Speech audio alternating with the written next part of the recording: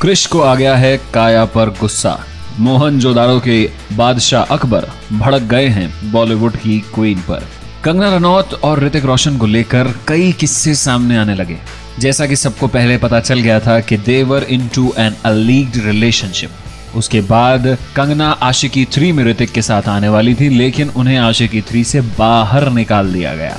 तब कंगना ने ऋतिक पर कमेंट किया था that why exes do silly things यानी अपने एक्स बॉयफ्रेंड पर कमेंट करके कंगना बड़ी मुस्कुराती हुई नज़र आई। उसके बाद ऋतिक ने साफ़ जवाब देते हुए कहा कि his chances of being in a relationship with Pope are higher than any Bollywood actress, and that comment was completely dedicated to Kangana Ranaut. और अब क्रिश चले गए हैं नेक्स्ट लेवल पर। उन्होंने एक लीगल नोटिस भेज दिया है कंगना को अलीगिंग डिफेमेशन उन्हें बदनाम करने के लिए कंगना को लीगल नोटिस भेजा है ऋतिक रोशन ने। कंगना ने भी इसका जवाब एक लीगल नोटिस से ही दिया है। ये नोटिस है इंटिमिडेशन और थ्रेट का, यानी कि कंगना को डराया और धमकाया जा रहा है। आखिर ये लड़ाई कब रुकेगी?